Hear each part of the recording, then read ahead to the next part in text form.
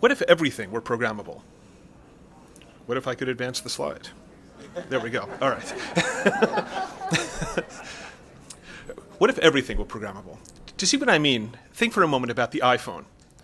What makes the iPhone so popular? You could say it's the pretty slick touch interface and stuff, and that's, that's pretty nice. But that's not really the key uh, to its popularity. Rather, I believe it's the App Store. See, the fact is, the iPhone can do stuff today it couldn't do yesterday, and it'll be able to do stuff tomorrow it can't do today. That's programmability. Let's take a slightly more interesting example your immune system. Faced with an invader, even when it's never seen before, the immune system marshals a collection of antibodies, either ones you have or even new ones that it creates, to fight off that invader. That too is programmability. And finally, let's take a much more pedestrian example your television. Perhaps you want the contrast to turn up when you're watching a movie, but not when you're watching sitcoms. Or you want the bass to be turned up when you're watching a music program, but not otherwise. Too bad. Unless Sony or Samsung or Panasonic happen to put that into your TV, you can't do that. My objective is to make everything programmable. Now, you might think that means I want to put a microprocessor into every device. But actually, I'm proposing a very different kind of computer. And the reason for that is because microprocessors are much too slow and much too energy efficient to be used for programmability everywhere. The fact is, a modern microprocessor uses as much energy as the 100 trillion cells in your body use to do 100 trillion different things, where the microprocessor is doing just one thing. Um, even allowing for the great speed of the microprocessor's frequency, it's still about a million fold less efficient than a biological system in trying to do computation. So if we're going to build a programmable device that can be used absolutely everywhere, we're going to have to do a lot better than the microprocessor. Now, to understand why microprocessors are so efficient, we're going to need to take a closer look at them. A microprocessor based system consists of a CPU, where the computing actually happens, a bunch of memory, and a surprisingly slow connection between the one and the other. If you want to do something such as adding two numbers, what happens is first you have to drag the first number from the memory, then the second number from the memory, then the plus from the memory, then you can do the adding itself, which is nearly instantaneous, and then you end up sending the result back to memory. The fact is, microprocessors require all computation to happen from memory to memory, and yet there's this long connection between uh, the computer and the memory. To give you a sense of the relative delays involved, imagine you're in your kitchen and you want to chop a carrot. But your kitchen has a very small counter, so you have to go to the pantry to get every single item, to get the carrot, to get the knife, to get everything. Oh, and the pantry is three blocks away. So walking back and forth, three blocks, three blocks, three blocks, that's where you're spending all of your time. And being faster by chopping the carrot isn't going to buy you anything because you're spending all of your time going back and forth to the pantry, and that's also where you're spending all of your energy. As though the distance to memory weren't a big enough limitation to the microprocessor.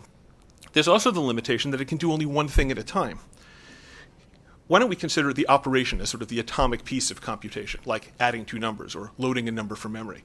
When you run a program on a microprocessor, it concatenates a very long linear sequence of operations to produce a larger scale computation. In this sense, we can think of the microprocessor as a one dimensional computer. Can we do better? Well, we can do a lot better.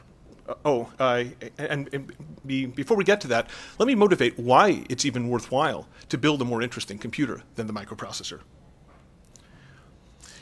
There are an awful lot of reasons, but perhaps the most immediate one is the ongoing explosion of the internet.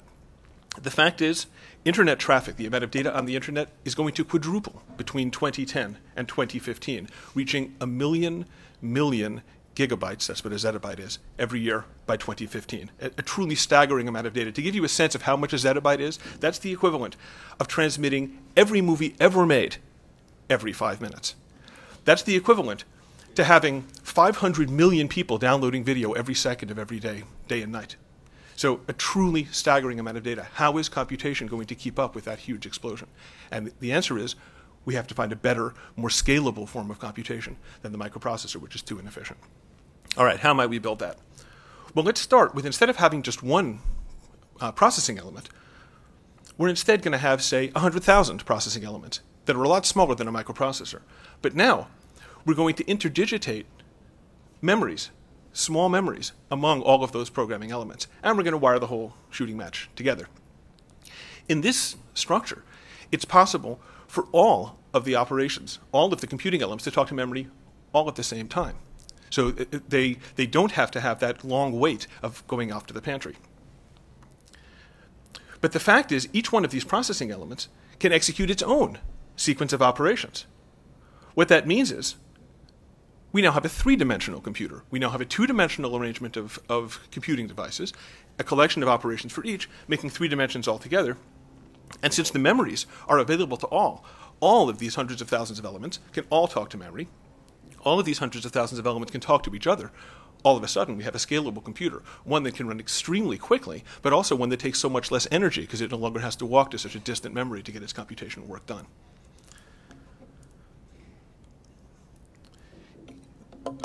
to get a sense of the sense of the respect in which this is a scalable machine, let's go back to our kitchen metaphor. Now, with this three-dimensional computer, basically we have an enormous army of chefs. One of them is is chopping the carrot and passing that to another chef.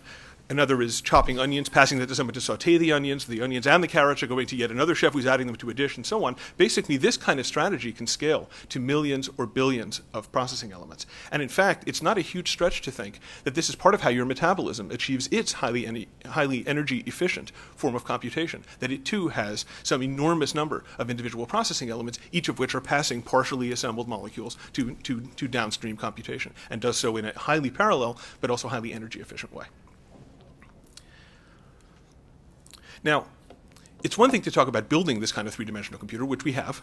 Um, it's, it's a whole different thing talking about how you program such a gadget.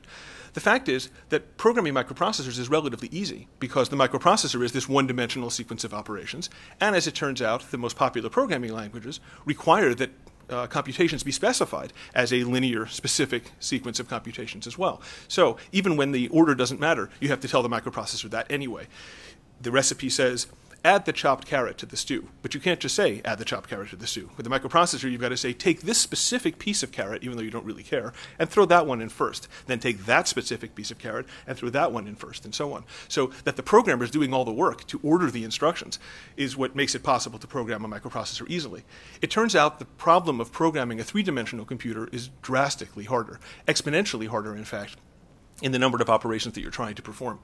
But as it turns out, we came up with a way of automating the process of translating programs automatically into this three dimensional computer by combining two technologies that would seem to have nothing whatsoever to do with this problem in an interesting way.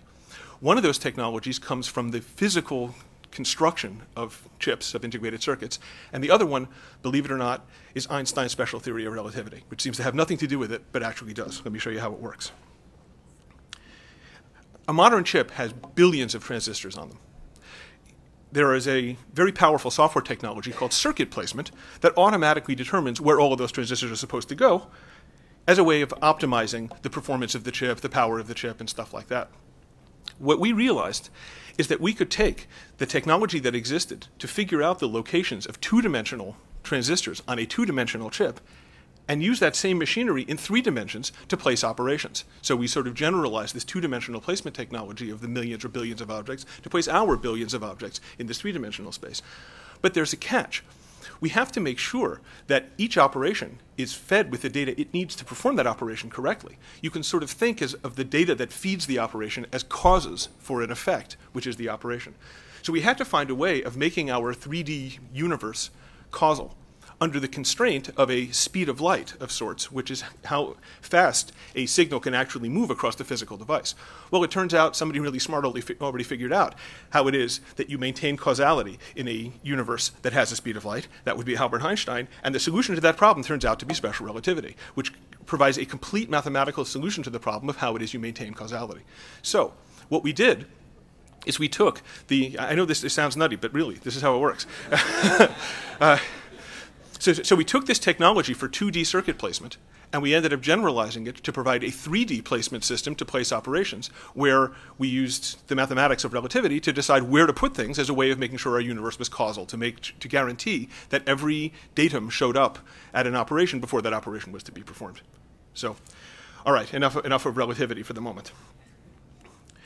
Back to why you should care about any of this stuff. Well, the fact is, today, Google, in building its, its uh, index of the web, has to look at 270 gigabytes per second. They have an enormous network of a million servers to do this. We can produce a single chip that can handle that incredible amount of data. We can do that today. if you look even to next year, you're going to see 25,000 gigabytes per second of web traffic. How is the inter- internet infrastructure going to keep up? With massively scalable programmable devices like these. If you look at 2015, more than half of that web traffic is going to be to and from wireless devices. How are cell towers going to keep up? Massively scalable programmable devices. But the long term prize is even bigger. The fact is, in a few years, we will be able to scale these devices to many billions of computational elements in a single device. At that point, for the very first time, we can talk about engineering systems that have some of the sophistication and subtlety that only biological systems have had to date. This is the real prize. The, this, the computer science that underlies this may even give us the ability to mathematize in a more rigorous way, talking about natural biological systems the hardware to build massively scalable programmable devices, the software to program them, and the computer science that underlies both that hardware and software, that's what my team at Tabula works on. Thanks for your attention.